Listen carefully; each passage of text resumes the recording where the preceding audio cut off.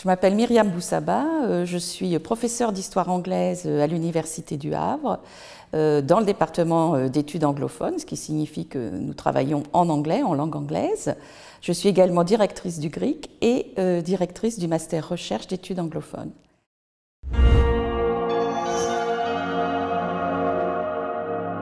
Ma recherche euh, se passe au 19e siècle, britannique, en histoire politique et sociale. Et toute ma recherche, aujourd'hui, depuis une bonne quinzaine d'années, euh, démarre à partir du genre. C'est-à-dire que le genre est une catégorie d'analyse essentielle à ma recherche.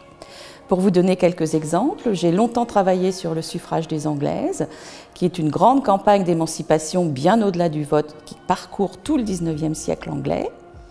Euh, j'ai également, toujours dans ce cadre-là, dans le cadre de l'émancipation des Anglaises, travaillé sur la première internationale féminine et féministe du côté des Anglaises, par exemple sur les congrès internationaux, comme à Amsterdam en 1908, ou sur euh, la participation euh, des Anglaises, en particulier des suffragistes, aux colloques internationaux et aux expositions internationales.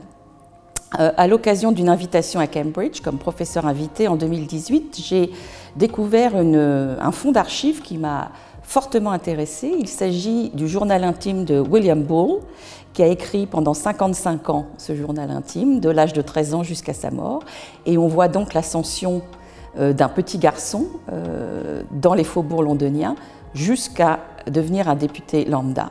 Et donc ceci me permet de travailler sur les masculinités euh, avant la guerre de 14, les masculinités britanniques avant la guerre de 14.